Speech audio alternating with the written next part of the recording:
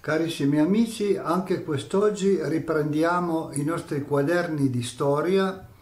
nei quali tracciamo la vita e l'opera di un personaggio piemontese illustrissimo, genialissimo ed è il, l'architetto Alessandro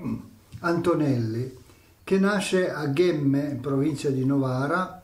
dove fa i suoi primi studi e poi quelli secondari, va all'università, si laurea in architettura e poi riprende, riprende diciamo, la sua attività, la sua prima attività facendo delle, dei progetti, delle piccole costruzioni. Poi si amplia e ha un'idea luminosa subito contrastata dai suoi eh, cittadini di Novara, ma poi in un secondo tempo venne poi approvata. A Novara, vicino alla stazione ferroviaria, si trovava il Duomo di Novara, che non era eccessivamente,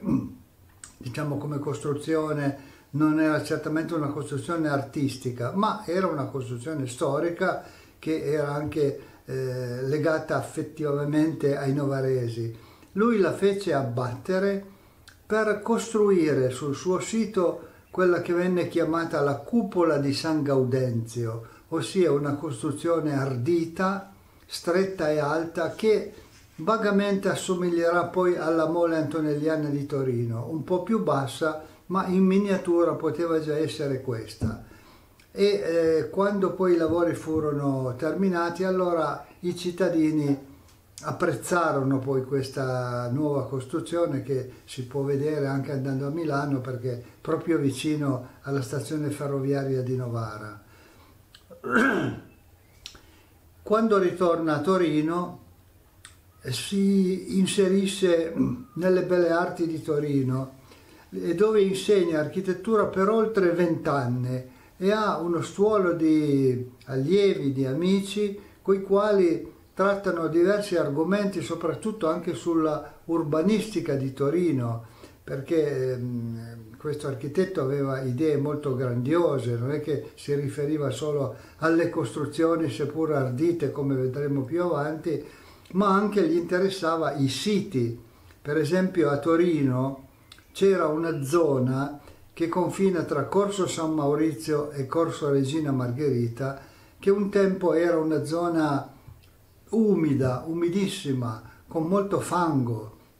tagliata da diversi fossi che portavano un'umidità incredibile e questa zona veniva chiamata zona di fango, una fanghiglia, che per traslato venne poi chiamata come ora vanchiglia. Ebbene, l'architetto che cosa fece? Si accostò a una delle donne più ricche di quel periodo, che era la contessa eh, Colbert, Giulia di Barolo, che aveva sposato appunto Falletti di Barolo, che è stato il primo a costruire poi il cimitero generale di Torino, e con lei si mise in accordo per modificare, per risanare tutto questo ambiente di Vanchiglia. E questo si fece, ovviamente. Si fecero strade nuove, si deviarono i corsi d'acqua e quando quasi tutto era già fatto, egli comperò una striscia di terreno piccolissima, ristrettissima, che andava a poggiare sul corso San Maurizio, costeggiava l'attuale via Giulia di Barolo in una forma triangolare e finiva con 70 centimetri, pensate, una, chiama, venne poi chiamata fetta di polenta proprio per questa sua struttura snellissima e nessuno pensava che si potesse fare una casa su quei pochi metri di terreno. Siccome egli stesso non si osava presentare in comune, dove era anche consigliere comunale, un terreno così piccolo per se stesso come poteva essere il, il pollaio delle galline, glielo fece comprare dalla moglie, una nobile cremonese che si chiamava Scaccabarozzi e su questo terreno egli eh, presentò un progetto che gli venne poi accettato da chi la presentò e fu appunto la moglie, si prevedeva una costruzione di tre piani. La cosa venne accettata anche se eh, con qualche critica e soprattutto con qualche curiosità. Ma lui poi, eh, disobbedendo a quello che erano i permessi dati dal comune, arrivò a quattro piani e poi a cinque piani. Una cosa veramente incredibile, stretta, alta, una torretta triangolare, dove lui stesso per alcuni anni vi abitò con la moglie e poi diede anche un piccolo locale a Niccolò Tommaseo, suo caro amico che veniva da, dal, dal Friuli dove aveva avuto dei problemi perché forse si parlava che fosse legato alla carboneria. Comunque in questo locale egli eh, scrisse il suo famoso dizionario italiano. Finito questo lavoro, eh, apprese, eh, iniziò a fare tanti altri lavori e addirittura presentò un progetto per demolire altre case per fare altre costruzioni, il che non è poi stato accettato. Arriviamo attorno agli anni 60, quando il eh, re Carlo Alberto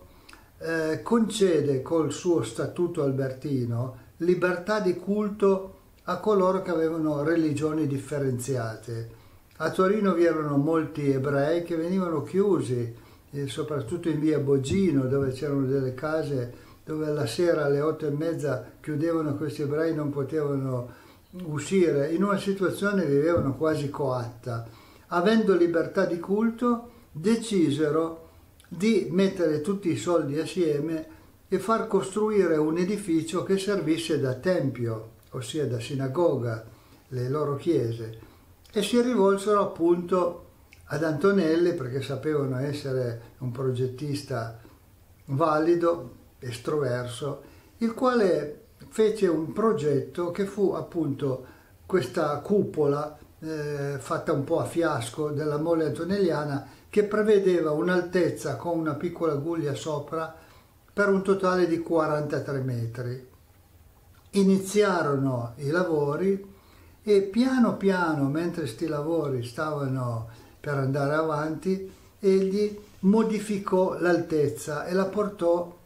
a quasi 60 metri di altezza, sempre con l'accettazione anche degli ebrei, i quali però eh, dovevano sborsare una somma maggiore di quella che era il loro budget.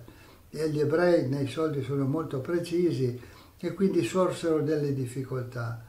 Ma lui, eh, cosa volete, probabilmente voleva creare un edificio e passare alla storia per questo edificio e ci riuscì perché poi questa mole antonelliana diventò ed è tuttora uno dei simboli più significativi della città di Torino. E quando era quasi riuscito a far accettare i 60 metri, ebbene presenta un altro progetto e tenta di portarlo a 80 metri. E dopo pochi metri di altezza gli ebrei fecero due conti e dice qui non ci stiamo nei soldi, dobbiamo smettere dobbiamo interrompere i lavori e rivendiamo questo terreno che abbiamo comprato con questo edificio che, che, che, che oggi eh, arriva già a oltre 60 metri di altezza. Ma trovare un acquirente non era facile per un edificio di quel genere, con quello stile, in quella zona, e si rivolsero a Don Bosco. Don Bosco stava allora approntando gli oratori dove chiamava diversi giovani, insegnava a lavorare, insegnava anche a pregare, li toglieva come ragazzi di strada, insegnava loro anche un'educazione religiosa, ma anche insegnava dei lavori pratici per la sussistenza e anche nel divertimento. Andò a vedere questo edificio e disse sì, come edificio mm, potrebbe andare, ma io ho bisogno di un terreno più grande per fare l'oratorio io ho centinaia di giovani che giocano al pallone, che corrono, che fanno qui, fanno là. Qui eh, è difficile, insomma, non c'è questa possibilità. Quindi mancando questa possibilità, eh, il nostro amico Antonelli aveva qualche difficoltà.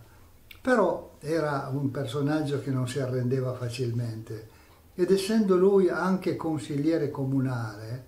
fece pressione sul comune affinché comperasse lui questo edificio e magari poi intitolarlo non so, un museo del risorgimento, qualcosa del genere in onore anche a Vittorio Emanuele II e con questa finalità che tirò fuori il comune accettò e comperò lui questo edificio che già allora arrivava a oltre quasi a 70 metri così.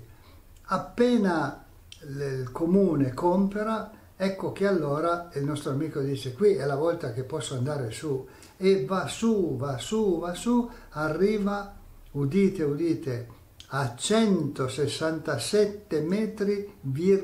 50 centimetri. Inoltre in punta colloca ancora una, una scultura di un angelo alto 3 o 4 metri che pesava 400 kg, quindi una cosa veramente incredibile. E questa, purtroppo poi lui morirà nel 1888 senza aver visto il termine di questo lavoro. Fu un lavoro lungo, eh, travagliato, accidentato, eh, criticato per alcuni versi, lodato per altri e fu poi il figlio dopo qualche anno a finire il lavoro. Il lavoro finito ospitò il Museo del Risorgimento, quindi fu una cosa anche molto ben interessante e accettata. E poi ultimamente, tutt'oggi, eh, viene, ospita il Museo Nazionale del Cinema Italiano tutto questo dimostra la grandezza di quest'uomo che non si risparmiò né il tempo, né le critiche, né l'ardire di fare delle cose nuove e oggi lascia questa mole antonelliana come simbolo di Torino, come a Parigi c'è la Tour Eiffel che simboleggia quella città, qui è vero, abbiamo Antonelli e noi questa sera abbiamo voluto ricordare questo genio eh, della matematica, dell'architettura e dopo questo lungo parlare cosa vuole che vi dica? Au revoir!